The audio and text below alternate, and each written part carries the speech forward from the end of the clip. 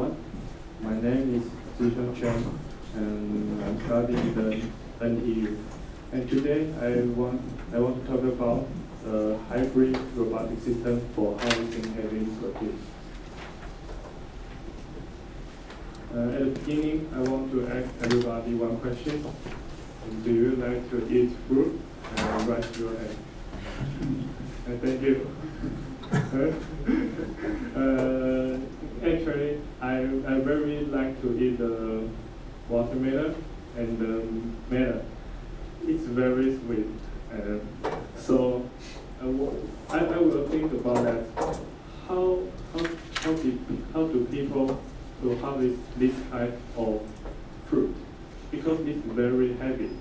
So uh, I look for the paper and uh, find it uh, in the traditional, in a traditional way, people there will be a lot of people to to to harvest this heavy fruit.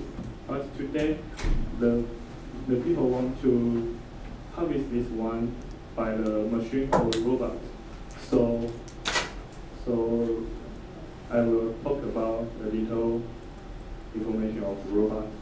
Um, there are three types of typical robotic system. And the first is serial robotic system, and the second is parallel robotic system, and the, final one is hybrid robotic system. The serial robotic system is that. Uh, that the picture is the, the robot of KUKA. And uh, the serial robotic system is like your, your arms. And uh, it can have a large workspace and uh, flexible motion, but it has some problem with it. Less stiffness, small payload, and uh, high inertia. And the parallel robotic system is like this. This is the Stewart platform, and one type of parallel robotic system. And the parallel robotic system uh, has high structural stiffness and a great payload and accuracy, but it sacrifices workspace of that. Uh, in this paper, uh, he wants to combine these two two kind of robotic system. We call that hybrid robotic system. To uh, this this kind of system can have the advantage of to the serial robotic system and the parallel robotic system. So they want to use this hybrid robotic system to, to harvest the heavy fruit. And this is the serial part and the, the parallel part. this is the working process for harvesting produce. Uh, at the beginning, the, the end effector of the robot will, will be attacked, attacked to the target and uh, stretch the arm to the target and uh, get it down. This is the picture of that.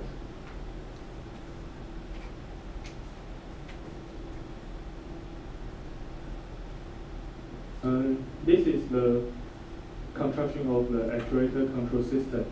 And uh, at the beginning, they just use the P controller to, to control the actuator.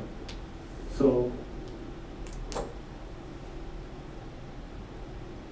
this is the behavior of only use the P controller. We can see they will they use the four kind of payload to the system, and the, the 7.5 kilogram and the 5. 5 kilogram cannot get to the desired position. So they want to solve this problem. They use the fuzzy controller. And they, after they using the fuzzy controller, they eliminate the steady state error of the system when the payload is 7.5 kilogram and 5.5 kilogram. The, the conclusion, the hybrid, hybrid robot was effective and uh, capable of handling heavy agricultural products, such as metals, and could be controlled precisely enough for use in harvesting. And in, in, this, in this experiment, the position control result of the development hybrid robot showed that it could be controlled within uh, A is positive or negative 1 micrometer and uh, uh, millimeter and uh, positive or negative 0.2 degree range of error. Thank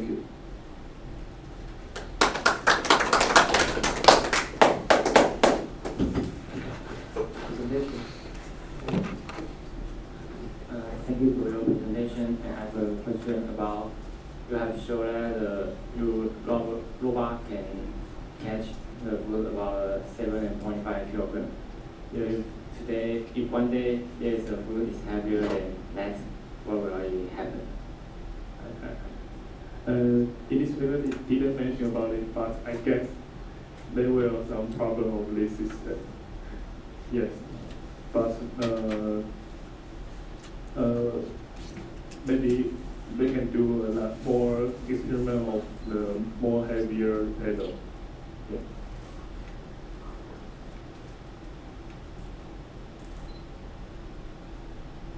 More questions?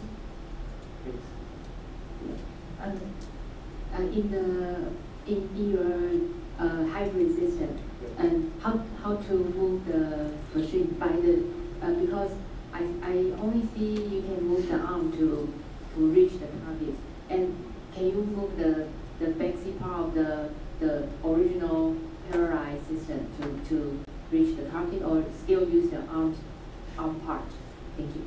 And in this paper, they just talking about uh, to, uh, to with the high payload and the uh, robots perform how was the robot performance when it get a high high payload.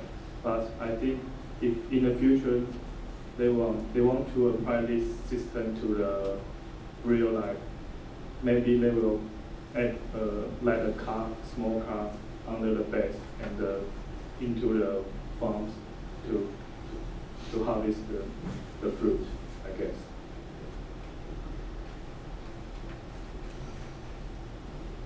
very good question. So, more questions, please. I mean, it might be a very difficult question. I want to ask about uh, how the parallel robot works, how it works. Uh,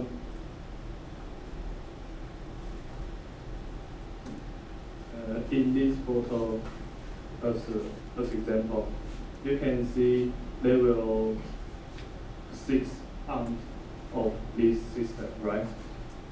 And every every arm is the linear actuator, so they can stretch or uh, or decrease its length or increase its length, and they use the this six arm the left left change the the length of the six arm the change change. They change the length of six arm they can make this uh, plane on the top to move. Yeah. So, okay, thank you.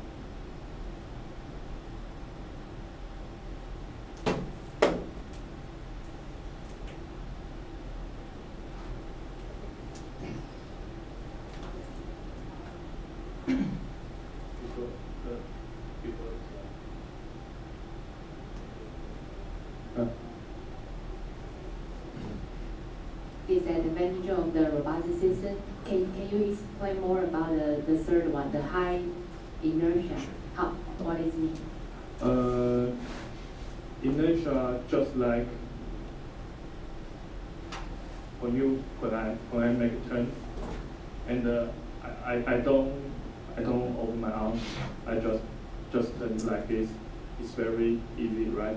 But today I have I, I open my arm and. Uh, if I had the heavy one on the end of my on my hand, and uh, I want to make a make turn is is much is more difficult than if I, I don't have any any hook like it.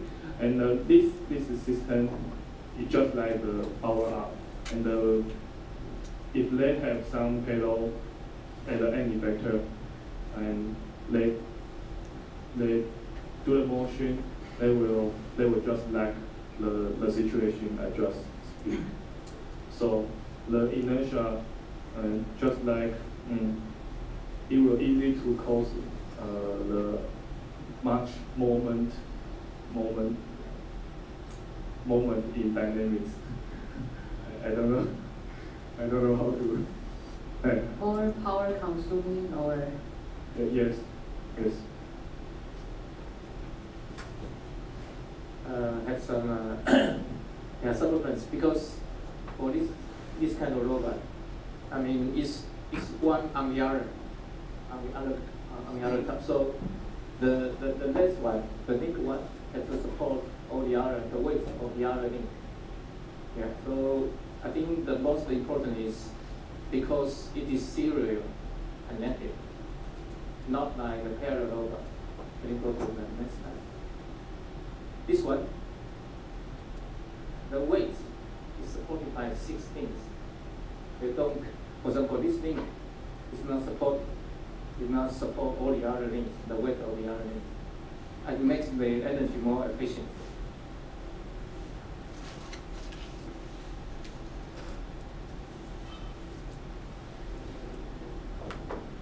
Uh, Thanks for your presentation. I have a question.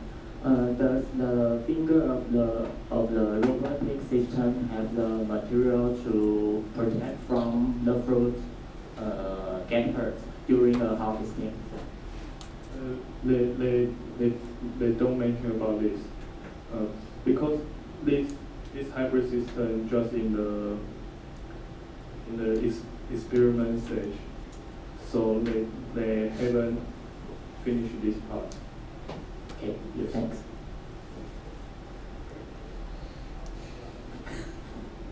Uh, how uh, the the arm can uh, how how the arm can cut off the the stem, but but because I think the well, just like a watermelon or a melon, its stem is is very yes. So I think thi- this motion cannot cut the fruit off.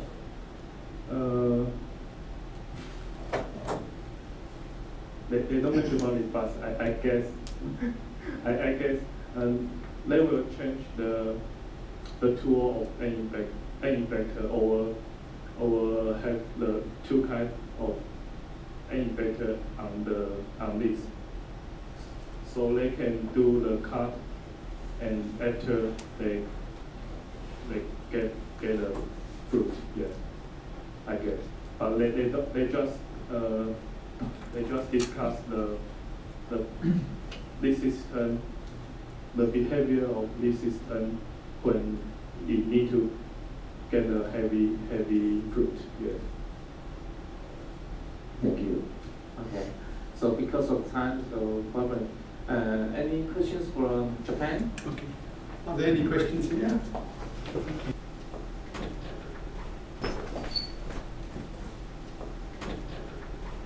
Uh, I think hybrid robot system need much space as well parallel robot system.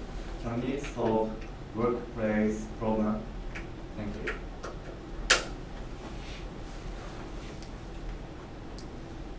Uh, so- uh, excuse me, can you repeat your problem again? Mm, hybrid robot system. Uh, I think hybrid robot system need much space as well parallel robot system. Need uh, large You said, uh. Uh, if you say a hybrid robot system need more space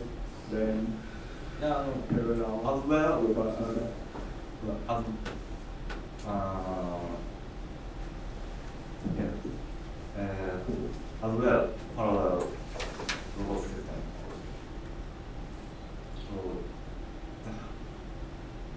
can we solve workplace problem, workplace disadvantage?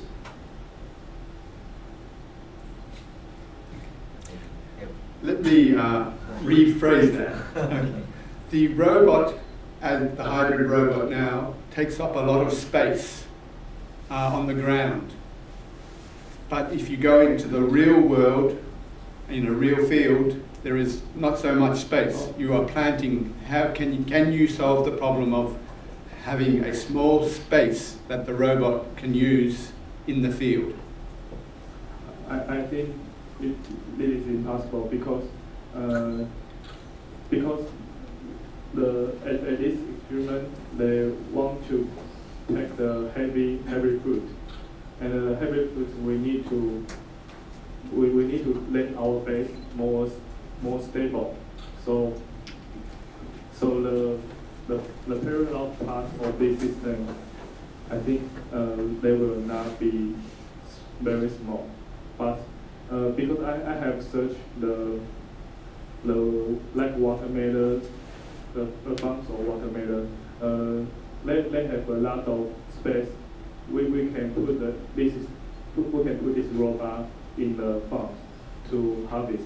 So I think that is not a problem. Uh, is that? Uh, yeah, answer your question. Thank you. Uh, my name is Nano Ueda. Uh, I developed the uh, watermelon harvesting robot uh, 20 years ago. Uh, uh, we use uh, uh, more uh, simple parallel linkages. And I'm uh, your robotic construction is uh, too complex uh, to use uh, in uh, agricultural operations. And uh, my colleague uh, Dr. Satoru Sakai submitted uh, IEEE transactions. Uh, you can see uh, our uh, re- uh, research results. I would like to, for you, to read uh, uh, Satoru Sakai's transactions. And uh, simple, uh, construction is uh, more and more simple.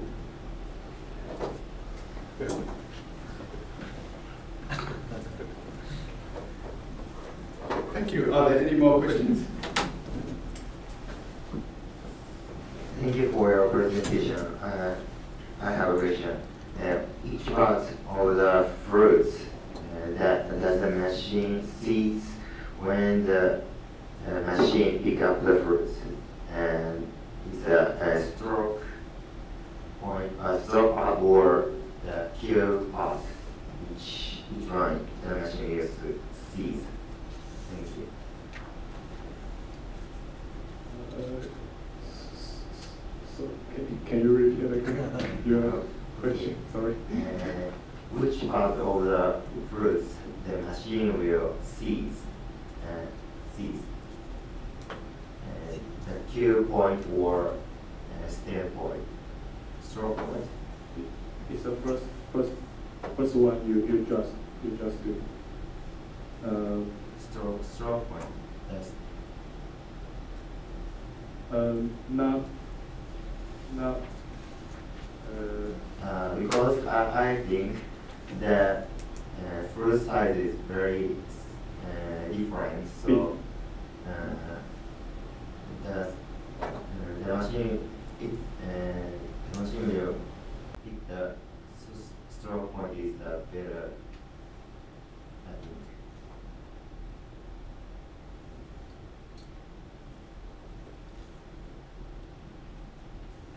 Let me rephrase that.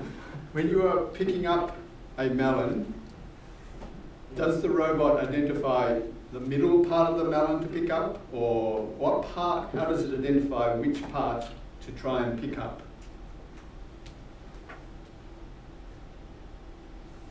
uh, in, this paper, the, the, the picture they show, show uh, the picture I, I see in the paper, they, they, they catch this, this fruit on, uh, on, the, on its body.